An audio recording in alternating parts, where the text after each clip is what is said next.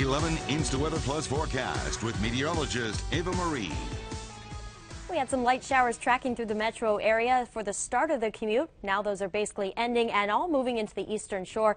But as you go south of us, right now La Plata getting a light sprinkle and most of those now out of St. Mary's County, but more showers now into the lower eastern shore. So a few of you may still have to deal with just a bit of wet weather. After that, though, we'll see clearing skies overnight. It was a beautiful day. We had 65 for the high temperature at BWI Thurgood Marshall after starting off at 37 degrees. So uh, that wasn't too bad, pretty close to normal to start off the day, and then we got well above it into the afternoon. Compare that to the record high of 88 set back in 1978 and 15 degrees, the record low back from 1923. We basically fell right in the middle of that. But we're going to see our temperatures drop below normal as we go into tomorrow, as that cold front has already brought in a lot of cold air. We can see uh, temperatures have already fallen more than 10 degrees just through the afternoon at the airport, now sitting at 53. In fact, Gaithersburg still falling at 48 right now. We have 60 degrees in Salisbury, but the further you go toward the west, the temperatures just get colder. 32 clocking in right now in Oakland.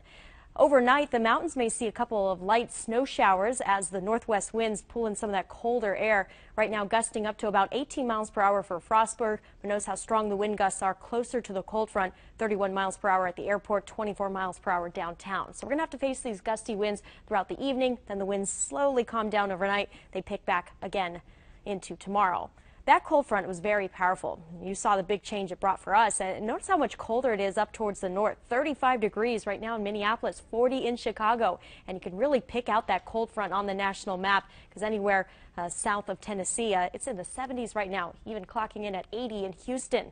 So this cold front is really bringing a big change to a lot of people, but high pressure will build in behind it. So at least with the colder weather, we're going to see some sunny days through the midweek, eventually tracking a storm into the end of the week. The forecast for tonight, the sky's clearing out. We fall down into the 30s downtown upper 20s in some of those northwest suburbs. A lot of people might be planting their gardens already. Just be careful with those sensitive plants as we get close or below that freezing mark going into tomorrow morning. We'll see a few clouds in the forecast for tomorrow. Highs only in the upper 40s and low 50s. A big change from today. We'll have breezy winds tomorrow as well. That always takes a toll on the temperatures. If traveling across the state, it's a dry day for most. Uh, we expect highs up near 50 degrees, uh, then a little bit colder into the mountains from about the mid 30s to the mid 40s at best. Then we go into the seven day forecast. I mentioned how we have to watch the end of the week. A coastal storm comes close to us on Friday. That's the home opener for the Orioles and at least for now, a 50% chance for rain. But then that quickly clears out and brings another nice weekend with 60 for the high next Sunday.